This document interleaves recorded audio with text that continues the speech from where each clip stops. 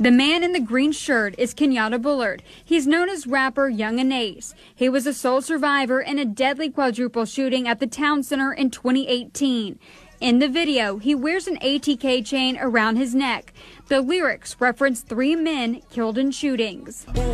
Smoke, baby, smoke, smoke,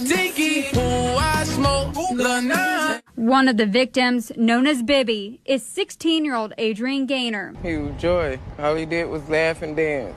He was shot and killed in the Hilltop Village apartments in 2019. Nobody can do anything worse to me than killing my child. It took two years for an arrest to be made. The man accused of killing him is Hakeem Robinson, known as rapper Queso.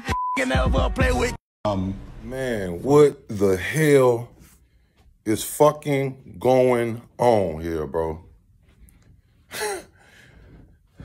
Yo, I seen somebody said in the comments of that post y'all just seen from shout out Say Cheese. Somebody in the comments said, yo, the feds is handing out RICO cases like Oprah. you get a RICO case. You get a RICO case. You get a RICO case. Everybody, bro. Yungeen Ace, they building the case on Yungeen Ace now. The nigga went to court for this shit.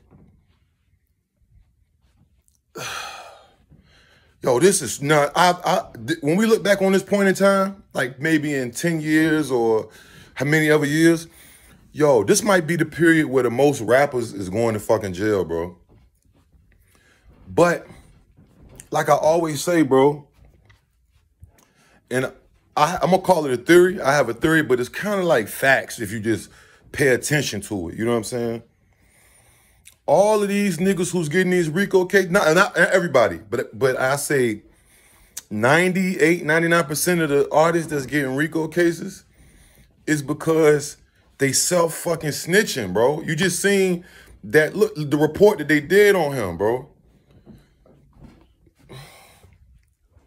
I'm not here to be the police. Y'all, it's, it's other YouTube channels that can do or investigator. I don't. I'm not here for that. I'm here to be the voice of reason, bro. Did you see the report they had? They know the names of people. They know the nicknames.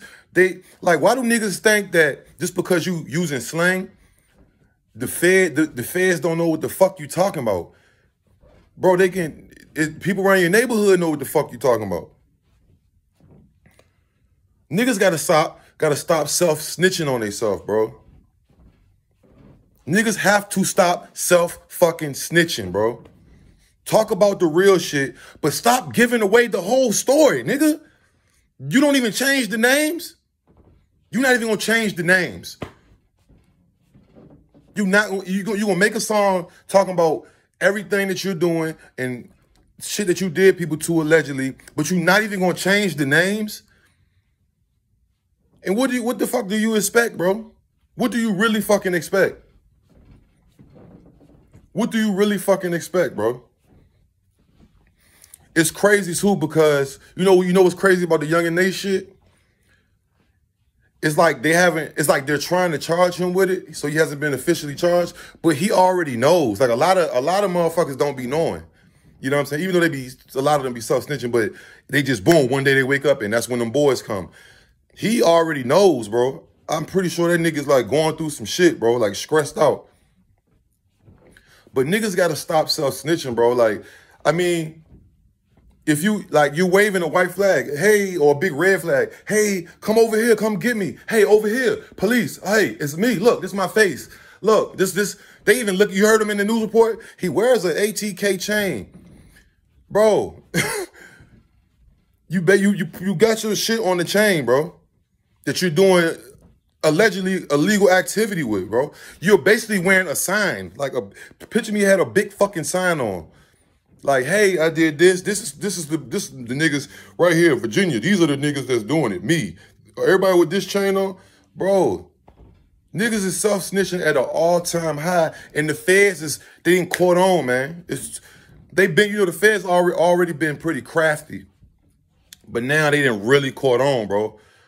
All they gotta do is say, hey, all right, next rapper. Who, who just type in beef in a, a city or a state. rap, and it's going. Let's get them. The the the bo- the Boiler Boys versus like bro. And then niggas be getting mad when like all these little internet like I'm not really I'm not really a blogger, you know what I'm saying?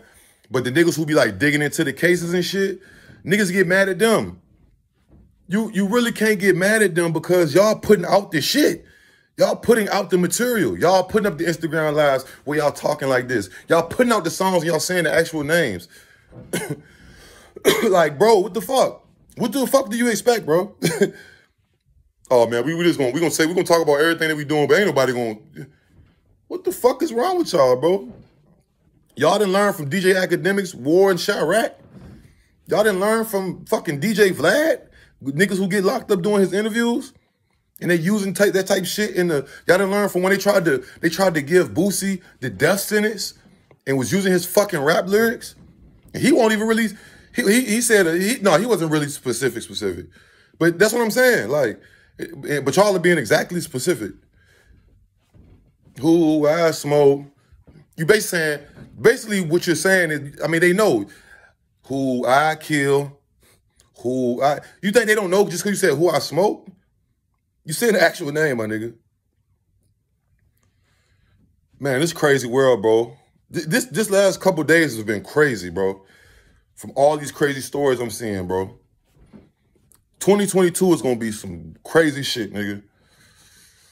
Y'all stay woke, man.